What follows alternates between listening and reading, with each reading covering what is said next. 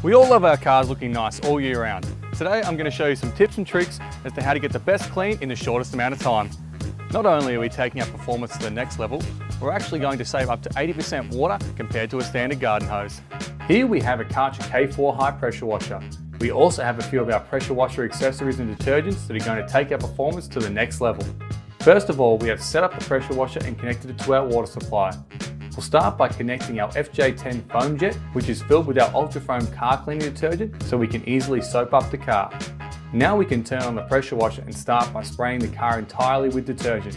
It's best to do this prior to rinsing with water as it allows the detergent to stick onto the car and react with the dirt and dust. Now we can disconnect the FJ10 and then connect our rotary brush, which can be used for scrubbing. Once that is complete, we can remove the rotary brush and put our standard lance back on for rinsing.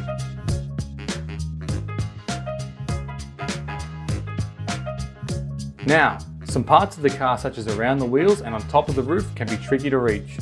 So we have our vario joint which can be manoeuvred to spray at different angles. And there you have it, a nice clean car.